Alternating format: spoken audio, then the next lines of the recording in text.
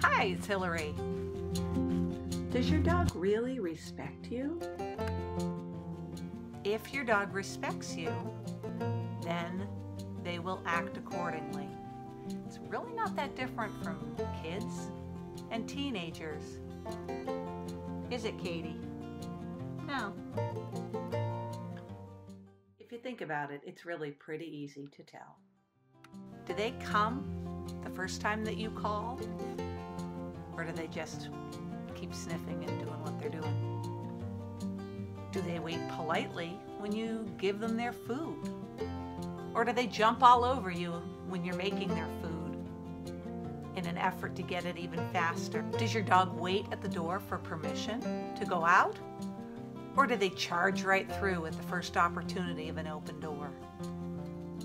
If your dog is barking at the window or something that's going on outside, will they stop barking as soon as you say enough? Or do they just keep on making noise? Does your dog pull and weave on a walk? You used to. Or does your dog walk nicely at your side in a nice structured heel? Does your dog beg at the table?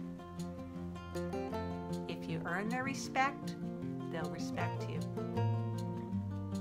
Take it from a mom and a teacher and a dog trainer.